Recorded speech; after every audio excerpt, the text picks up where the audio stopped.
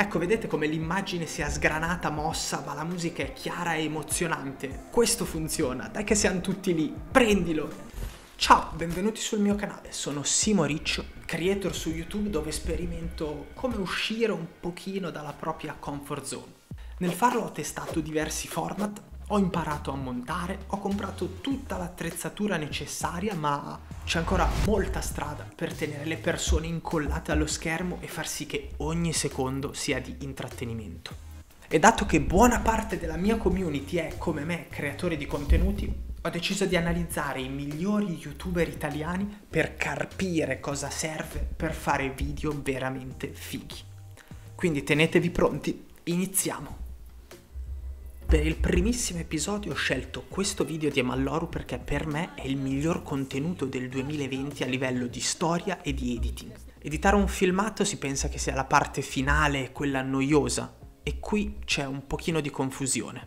Perché per me editare uguale riuscire a intrattenere, visto che ogni contenuto sul web compete con tutti gli altri video, ma compete anche con le app che avete sul vostro cellulare e con tutti i messaggini che ricevete. Quindi in questo format non guarderemo troppo alla parte tecnica con le transizioni eccetera, quanto alla parte psicologica per cercare di capire perché un filmato ci piace e ci fa rimanere incollati. Per iniziare vorrei analizzare quello che per me è il migliore esempio per quanto riguarda l'accoppiata storytelling e coinvolgimento emotivo. La vendetta va servita fredda. Ok, 7 secondi e si vede già quello che promette la copertina. Nei primi secondi subito fa vedere che la copertina e il titolo non sono clickbait. Voglio chiedervi quante volte siete stati scottati da copertine clickbait. Quando questo succede si perde la connessione tra spettatori e creator. Quando invece la promessa è mantenuta, crederai a quel creator. Ecco ora, questa inquadratura è letteralmente la copertina. Com'è che si dice in questi casi? La vendetta è un piatto che va servito freddo. Ok, oltre alla copertina adesso abbiamo anche il titolo del video. Possiamo essere stracerti che non si tratta di clickbait e infatti la scritta messa qui fa capire che dopo 34 secondi è finita l'anteprima, che le promesse per le quali abbiamo cliccato sono state mantenute e può iniziare il vero video. Prego. Serviva solo un'esca e serviva poterla tracciare. In poche parole, serviva Andrea Galeazzi che mi installasse dei GPS. Ok, come primo ospite di questo video non è che viene il cugino nerd, ma Andrea Galeazzi, oltre un milione di iscritti su YouTube. Però si accende. Okay. Nello zaino, oltre al portatile, ho inserito altri oggetti per non destare sospetti. Ok, interessante seconda volta che Malloro dà una sorta di titolo a quello che andremo a vedere. Avevamo la scritta 24 ore prima e ora abbiamo il giorno dello scasso. Questo montaggio ci fa capire che un nuovo capitolo sta per iniziare. E come se non bastasse a far capire che siamo appunto in un altro capitolo del video, ascoltate come taglia in maniera netta la musica. sospetti. Bam! Quando ci sono questi tagli è come se la band che sta suonando con la musica che stiamo sentendo smettesse di colpo, come a dire che diavolo sta succedendo qua? Tagliare la musica di netto è un modo potentissimo per rialzare l'attenzione. Per procedere serviva supporto legale. Me l'ha dato Angelo Greco, il miglior avvocato presente su YouTube. Se vuoi per... Ok, al minuto 1 Andrea Galeazzi, al minuto 2 Angelo Greco, altro youtuber avvocato. Tra l'altro non credo Ema abbia preso un pezzo del video, credo sia proprio una chiamata su FaceTime e lui parla esattamente come nei suoi video YouTube. Fantastico. Dove lo trovo lo zainetto per consegnare le pizze? Beh, avere un amico pizzaiolo torna sempre utile. Ed ecco l'effetto telefilm. Tutti siamo nati e cresciuti con i telefilm e ne abbiamo ormai interiorizzato le dinamiche. Personaggi come il suo amico pizzaiolo che abbiamo visto che purtroppo ha chiuso la pizzeria, qui ritorna e scopriamo che fa il rider. Quindi nei video di Ema abbiamo personaggi secondari che ogni tanto rifanno la loro comparsa e scopriamo qualcosa su di loro e ci emozioniamo nel vederne i cambiamenti, quasi come se fossero nostri amici. Bellissimo e un saluto a Giuliano.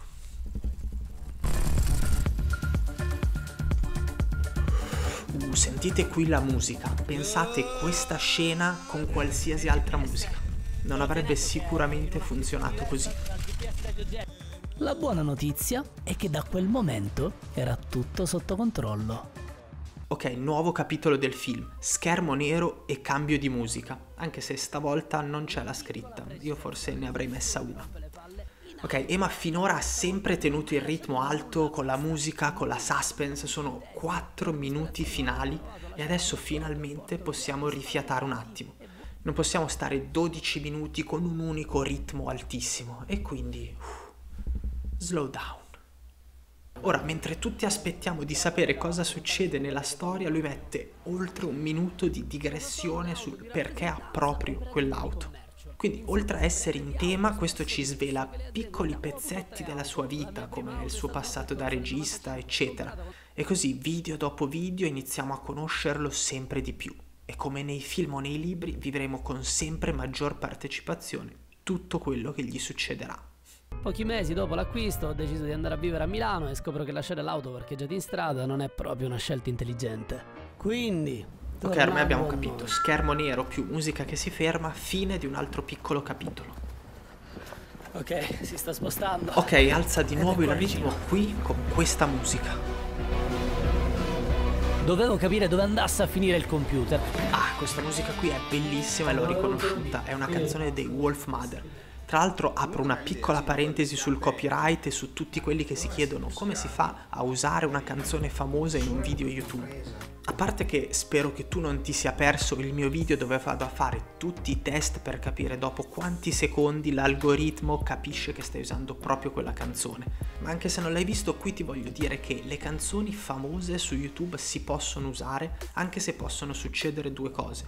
Quella certa è che tu non potrai monetizzare quel video quindi le pubblicità che vedi prima, durante o dopo non genereranno delle entrate per chi ha caricato e creato tutto quel video, ma andranno agli artisti. La seconda e quella più grave è che le canzoni estremamente famose come potrebbero essere quelle degli ACDC creano addirittura un blocco del video nella maggior parte delle nazioni. Infatti Emalloru usa delle canzoni famose ma non quelle della top 10 perché causerebbero appunto questo blocco. Dunque Emanuele, puoi certamente inserire un GPS o un altro amico spia all'interno delle tue... Oh, Angelo Greco per me è un genio. Voglio già fare un episodio di questo format sui suoi video. L'unica volta che ho provato a pescare per me è stata una noia mortale, ma stavolta dopo tre lunghi giorni d'attesa Musica e video. Il video può anche non essere in 4K, ogni tanto può saltare l'immagine, ma l'audio deve essere chiaro e una canzone scatena sempre emozioni. E questo Emalloru lo sa. Io non so per quanto può aver camminato. Qui mette un classicone dei film di spionaggio, musica incalzante e loro che seguono un GPS.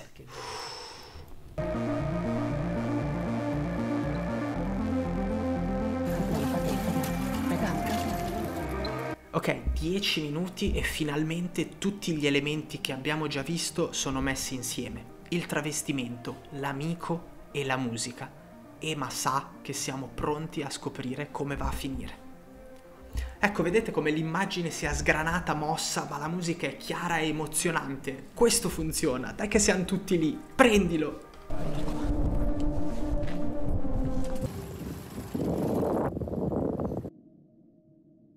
Ok, schermo nero, RDS.